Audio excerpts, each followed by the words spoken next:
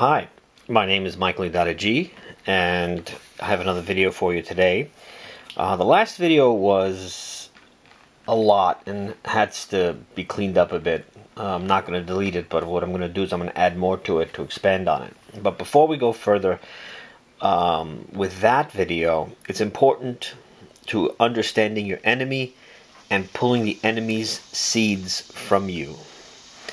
And um, this th this is really uh, more of an exercise video at the same time, and uh, I'm going to give you a suggestion to do, and how your physical self is also going to be helping your spiritual self, and and it's really your spiritual self helping your physical self.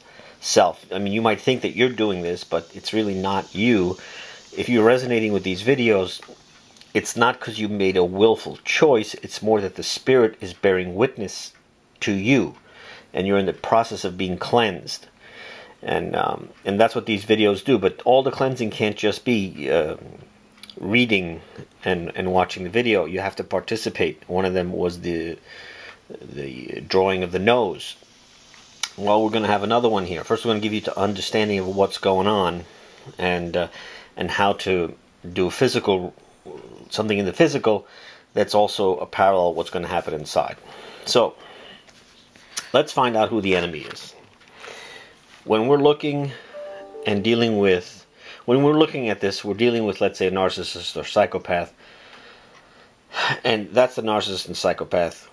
And you might be the one feeding them or saying yes to the narcissist or psychopath when you really want to say no. And that's very common. So let me give you an idea what's going on here. what's happening with the with the narcissist or psychopath, which I've said in other videos, they have to feed on lies. And the the head sprouts up, and um, and, and it's like a weed, and and the Bible actually has the parable of the weeds in Matthew thirteen twenty four, and it's it's very accurate because the weeds. Uh, the weeds were planted by the, his enemy uh, in, let's say, Matthew 13 25. And while men are sleeping, his enemy came and sowed darnel in the midst of the wheat and went away. So darnel kind of looks looks like the person, but it's really not the person, or looks looks good, but it's not. It's actually it sprouts up on its own. It's planted by the will. It's not and not your. It's not. It's not planted by man. It's planted it's it's more planted. You know, another place in the Bible says like the devil plants this.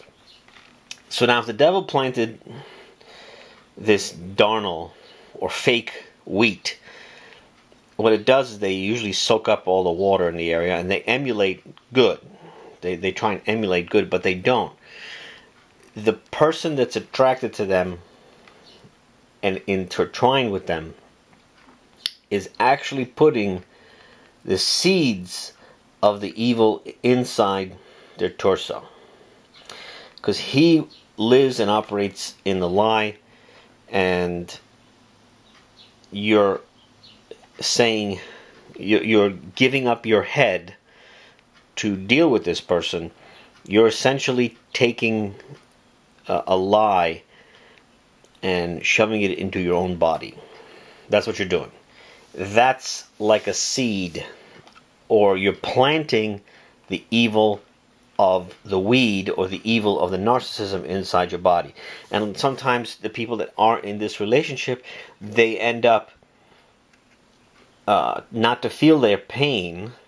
They go hunting for the narcissist and they end up being the narcissist. And that's because they took in those seeds and those seeds grew inside them and uh, saying yes when you mean no is putting a block inside the body. Now you have to get that out of the body. And the best way to do that, like, I said, is to start saying your no, but you have to be no in truth, not no in vomit. And um, other videos earlier, you know, cover that in greater detail. So, how do we get this weed out of our physical reality that we're dealing with them? Well, the first thing you need to do is get the seeds of the weed out of you. Okay? And that is that no now that you locked up in your body. That's why you want to get that no out. So I'm going to give you another exercise. Um, as you get better at the exercise, I mean, it sounds funky, but it'll really work. You go to a park, and when you go to a park or any place, you look for weeds. That's what you're going to do. And as you look for the weed, you're going to pull it out of the ground. And as you're pulling it out of the ground, you're going to sense how it feels because you know I have a backyard and and whenever I see the weeds, you know, I just love pulling them out. And just sometimes I could just be walking and this weed just grew and I didn't know it was there for a while, but then when I see that weed, when that weed now gets my attention, I pull that sucker out. Not, do, not only is it pulled out, put it in the back of my bed of the truck and has a black cap, and I put it there so it cooks.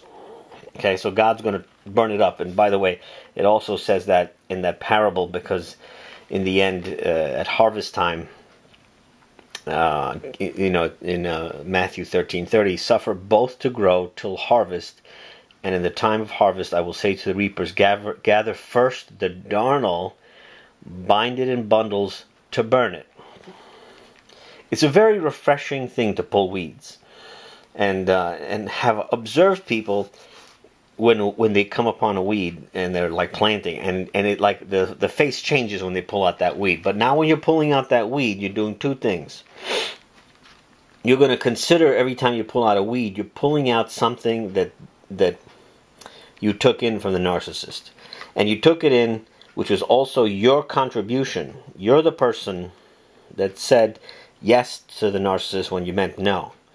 So what you're doing now is you're pulling this out of the ground which the ground also represents the torso. You're pulling it out of the ground physically, and you're going to also consider that it's being pulled out of you spiritually. You're not tricking yourself at this. This is not that. Because it's our physical reality is somewhat similar to our spiritual reality. That's why these relationships are spiritual. That's why uh, most of the mental health, uh, all the uh, therapists, they don't work because they don't understand the spiritual component. So they're going to sit there, ask you questions, and then you're going to turn into this person because they keep asking you questions because you have an augmented reality. You have to remember when you're in this situation, you have an augmented reality partially because of the person you're dealing with, but mostly because your observation is based on what your position is in space and time. Is your head in your body? Is your head uh, is your energy leaking? Are you fragmented? So depending on what's happening in your in your personal uh, connection to the time and space and self and spirit is how you're going to perceive reality. In other words, you're creating this part of this relationship because your head is pushed in. If your head is pushed in, you have to get this guy. And it also works with women too, but generally speaking, feminine is more of the torso, and the masculine is uh, is more the uh, more extroverted. So it's more the space. You know, the men try and uh, get away more from the space, and the women you know, they say yes instead of saying no. So go to a park and find the weeds, big or small. And there's plenty of parks. There's plenty of places you can walk around and just find weeds. And a couple of things too. You're exercising, you're moving, and what you need to do is move the body, because this person, remember, doesn't move. They only move for the work, and they could be workaholics, but that's not for you. That's for somebody else. And as you do these exercises, as the consciousness builds, the truth starts cleansing you. And, you know, this is not hokey pokey stuff. This is this is really what's happening. I mean, this is exactly what's happening. This weed is putting their seeds in you when you say yes, when you should say no. In fact, that's exactly what happened in the Garden of Eden in my last video. The serpent, in dealing with Eve, she and Adam, they said yes. Adam said yes when he should have said no. He did not say no. So th- the seed was planted. The serpent's seed was planted inside inside Adam and Eve, and it manifested in Cain. You know, that's the seed of Cain. And uh, and what's the first thing Cain does is he kills Abel because his his um, present his present wasn't good. So again, if we're gonna have a inner consciousness of ourselves, which will improve our outer reality as well, we have to um, manifest that in the physical realm by doing this exercise. And guarantee you're going to have benefits from this. It's just guarantee it. I mean, it's also very empowering as well. So this weed puts their seed in you and you start growing weeds inside. So as your weeds are growing inside that are not yours, you know, you know these weeds they're growing inside you. What happens is they clog you up because to to keep that no inside your body it's going to take resources. It's going to take your resources, energy,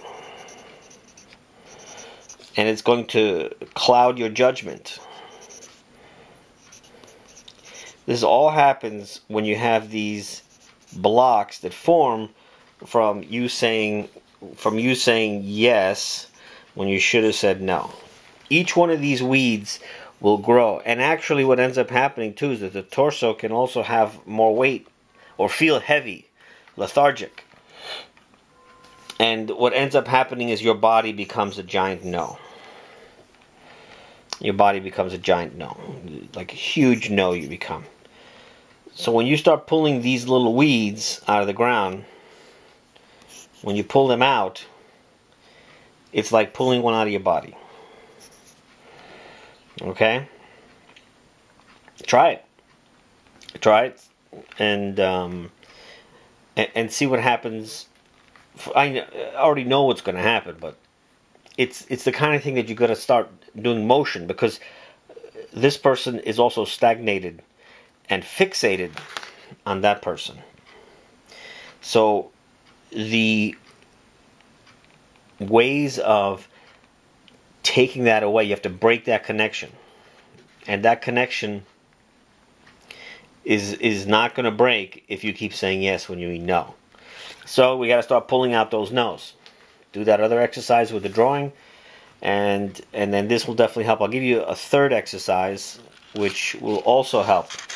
And and and I know it's very common for everybody to kind of rehash the story of the of the past and the trouble and then you put it in words and you solidify it. But remember, your story is based on this perception.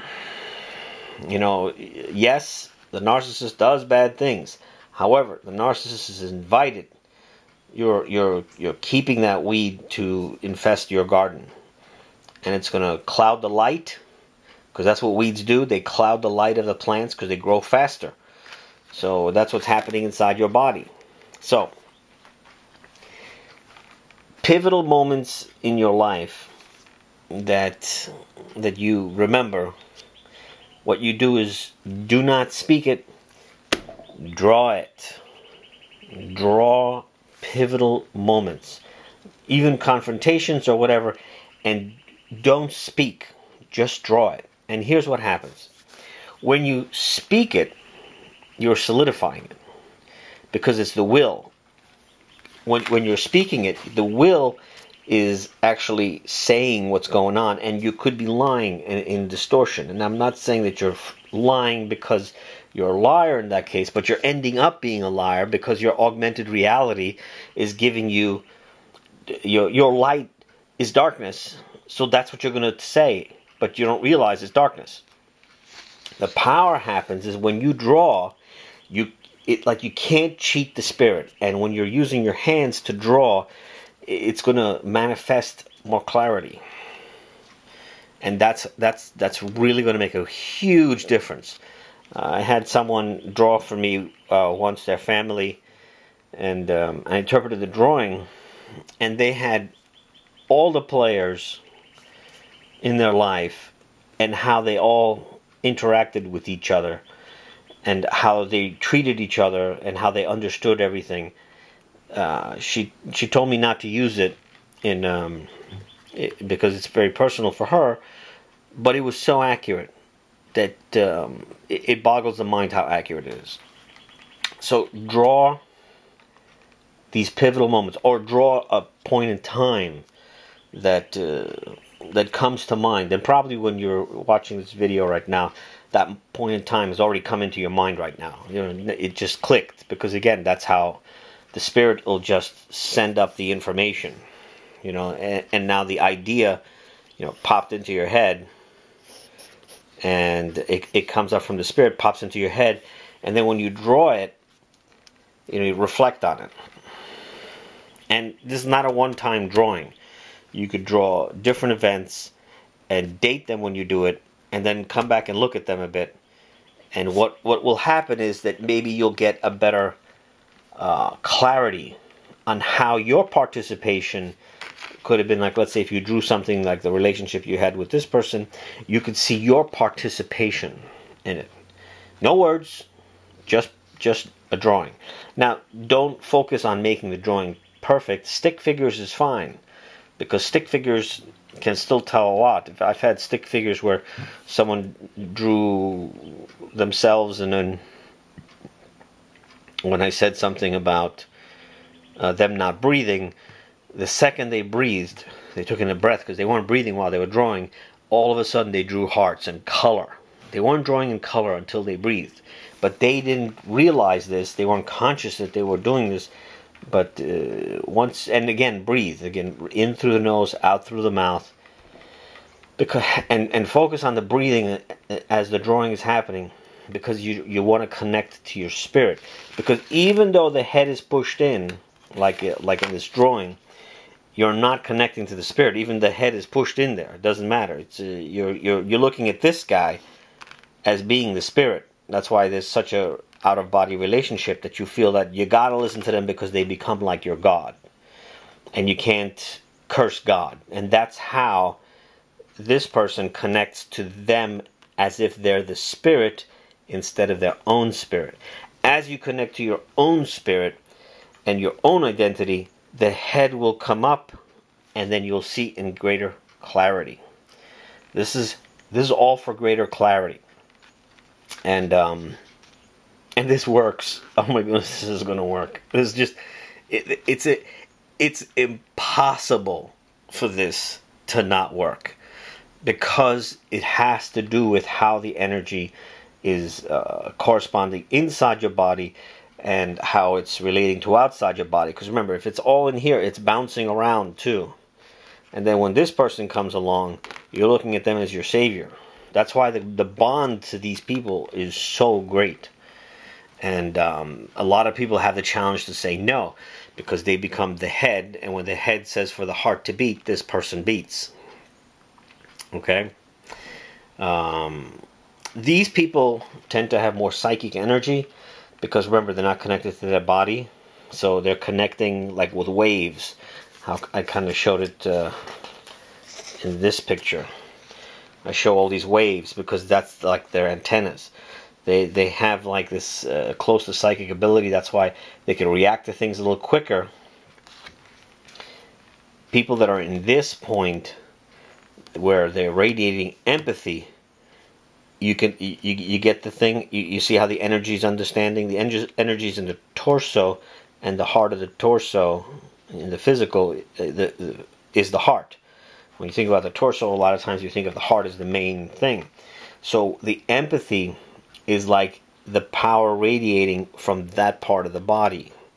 That empathy will latch on to things that you shouldn't empathize with, like movies, because it's not reality. But we empathize with them, or you get connected to them, or I imagine these people might be more um, affected by watching movies because they can put themselves right in that role, and that and the movies really want to sell you emotion. In fact, one last thing, uh, let me just go deviate.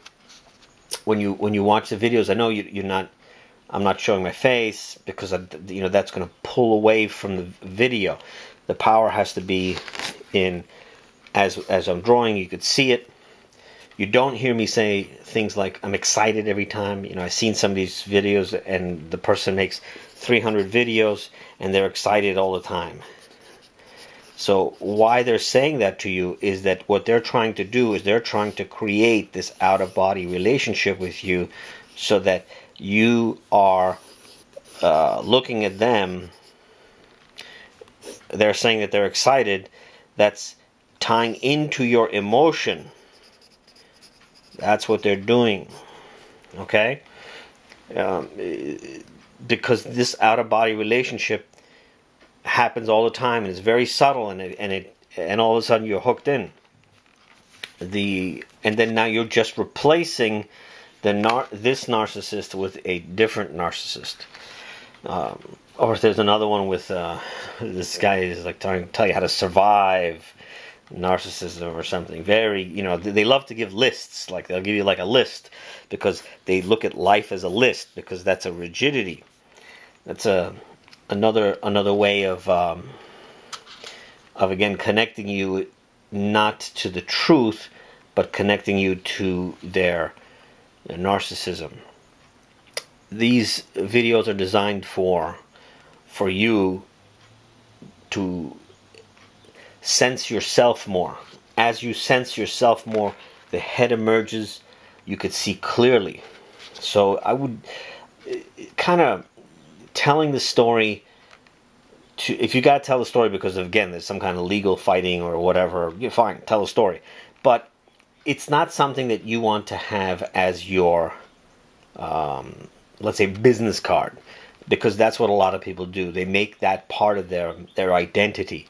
So uh, there's a narcissist that I'm going to talk about and what he he he did is the the first day uh, I met him he told me his like story about how he was a kid, and I'm like, I didn't need to hear that. I don't know you for 10 minutes. I'm like, I don't care about your story in the 10 minutes that I'm going to meet you that you're buying something from me to know about how you pulled yourself out. It's not it's not necessary and it's only a it's a hook. It's a hook. So when you're telling your stories, keep in mind that could be a hook as well because as you tell the story, if you are in this position or this position, the story is augmented reality. It's not reality. I know it's a little tough pill to swallow right now, but I figured after these many videos, that's going to be a good time for that to resonate. And if you do the pulling of the weeds, it's a, it's a, it's going to be unbelievable and draw out the draw out the problem. Breathe, draw out the problem. And when you draw out the problem, don't add words to it. Don't spend too much time trying to figure it out. Date it, and then do another drawing at another date or another time. Draw out the problem again. There's power in in drawing. There's power in writing. We don't write anymore.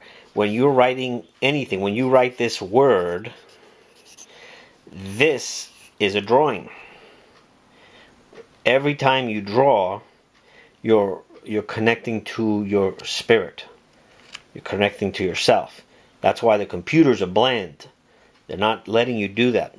Handwriting is a, is a big deal, and I'm not saying uh, it has to be good. I mean, my handwriting sucks. I mean, I would do script, and then I would do I would do like formal. So I, I could, for me, that's kind of like you know the style, the spirit, and the blotchiness of the mind combined. So your writing is actually pictures. That also helps. Uh, I have another exercise that you know I'll save that for another video. And um, uh, hope this is beneficial to you. And uh, we'll have another video coming up. Another thing about the videos, I was trying to again making them every day, but then um, you know the spirits, the, you know, kind of.